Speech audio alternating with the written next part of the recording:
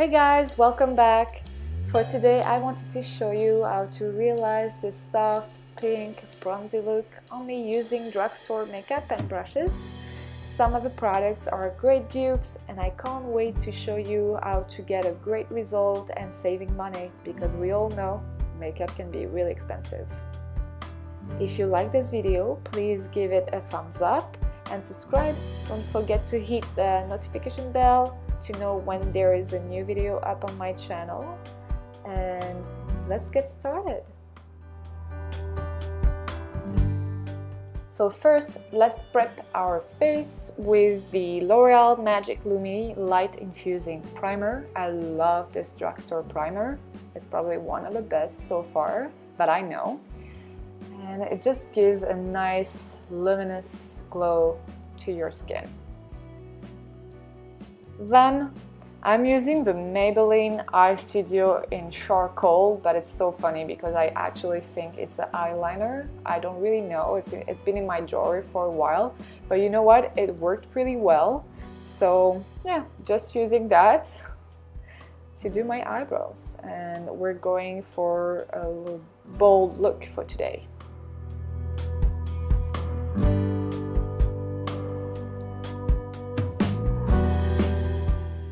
On top of it, I'm using the Maybelline Brow Precise Fiber Voluminizer in soft brown and I have to say it's a great dupe for MAC Brow Set in Beguile if it's not better.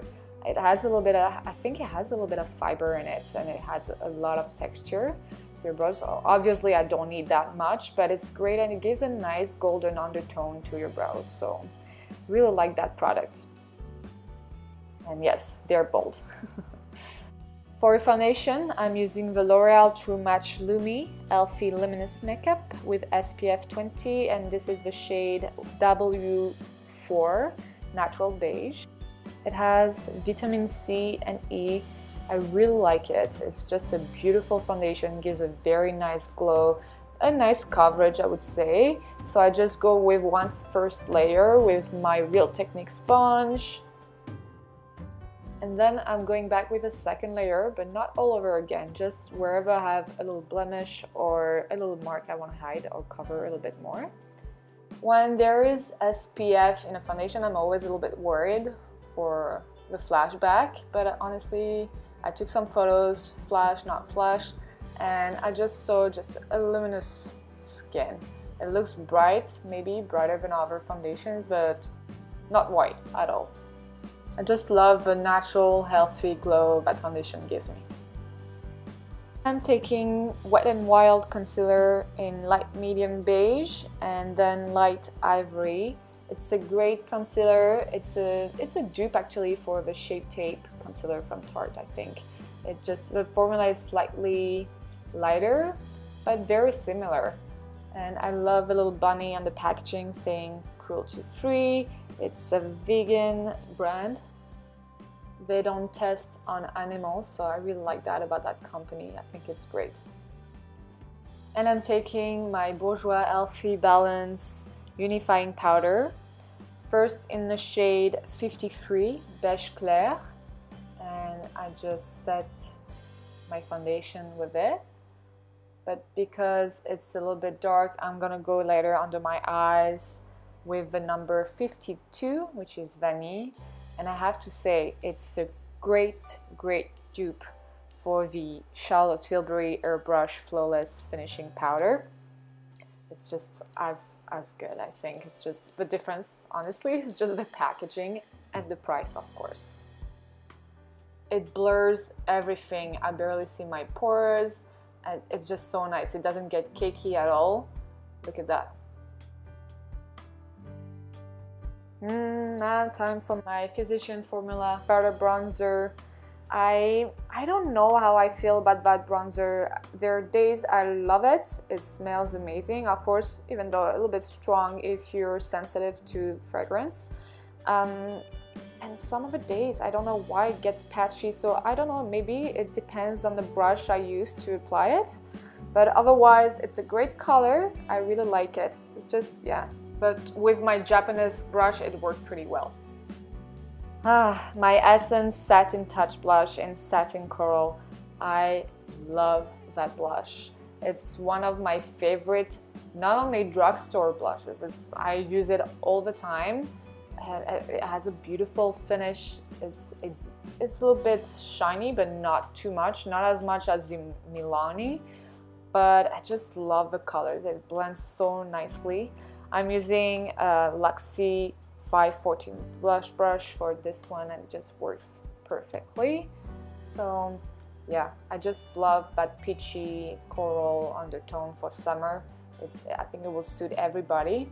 And yeah, putting it a little bit on my nose, like I saw that on Desi Perkins video, and she does that, and it looks pretty cute. It looks very natural, like you've got some sun on your nose.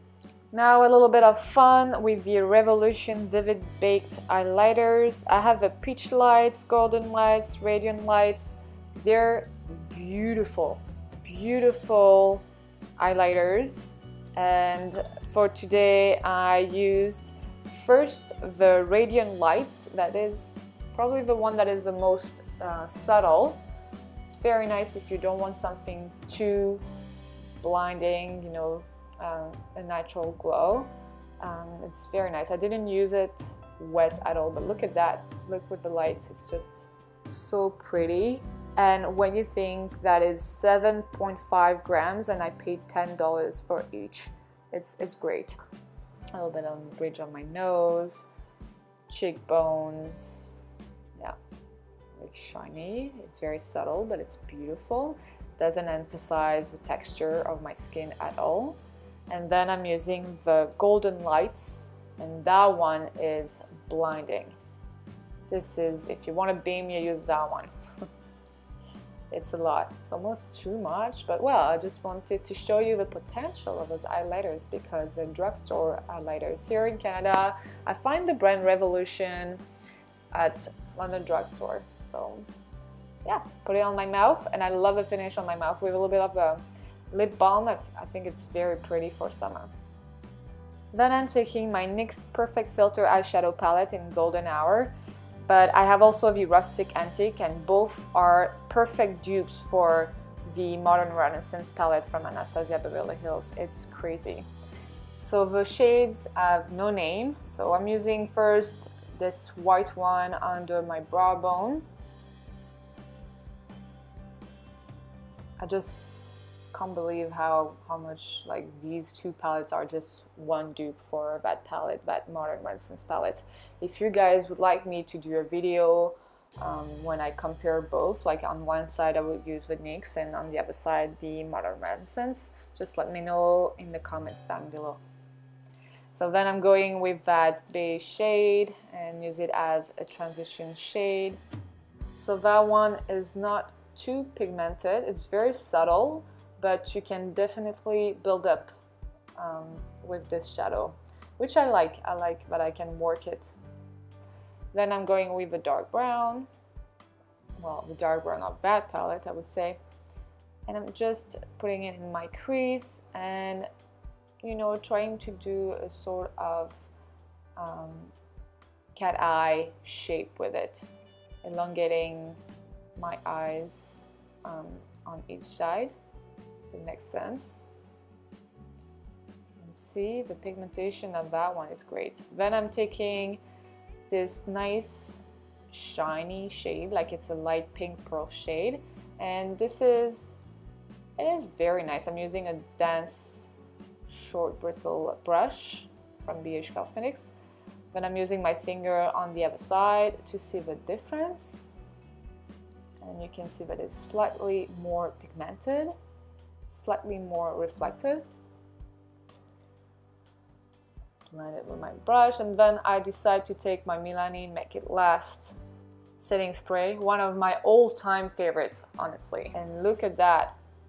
It's it's so beaming. Like it reminds me, I think it's the Vermeer, Vermeer shade on the Modern Renaissance palette. So pretty. So I go back with my spray because I love the results.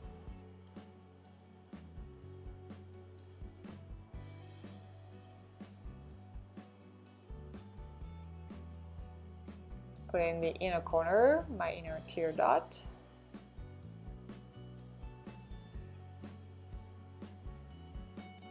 It's so pretty, I love it. Then I'm taking a smaller brush and I'm going to mix the beige and chocolatey shades together in the lower lash line just to create a nice shadow and make it a little bit more sultry.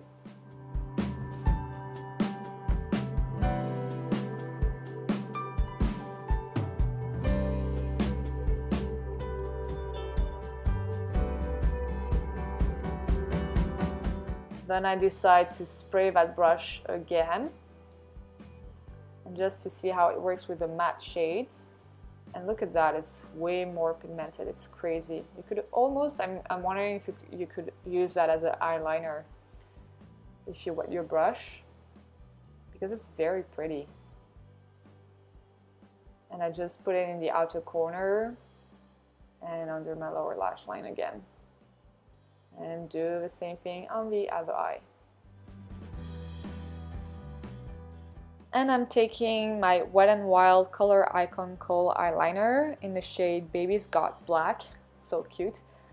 Applying it in my waterline. And I'm also going to tap line with it. Then I'm taking my NYX Matte Liquid Liner in black and guys, this is really hard to use your eyeliner and holding a mirror or a palette at the same time.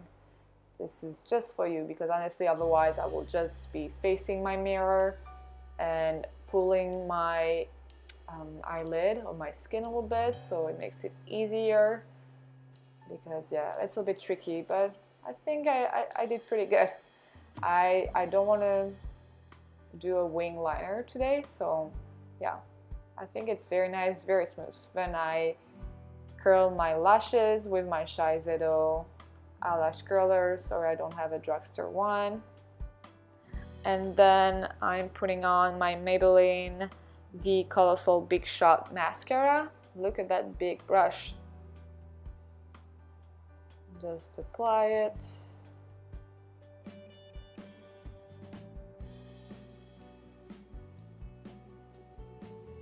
again and again. And my husband just got home and he's kind of like telling me to hurry because we're gonna go see Wonder Woman. So I'm almost ready, okay? On your lower lashes too, just for that nice dull look. And to be honest, I'm not sure it did a lot for my lashes. It's a good mascara, but not fantastic want to brighten a little bit with the light ivory wet and wild concealer. Then I just set everything with my Milani setting spray. Love it. And I could stay like that. That was like one look with my lips just with like lip balm and my highlighter on top. Or you can use a lipstick and for this one I use the Mellow lipstick in the shade Posh that I got in my May Ipsy bag and it's a beautiful matte lipstick. Formula is great and I love, love, love the color. And yeah, just apply it and that way it's only the eyes that are popping. And yeah, that's all. That's the finished look. I hope you guys enjoyed this video. If you want me to do more videos like this, please leave me a comment down below and thank you for watching and I'll see you soon. Bye!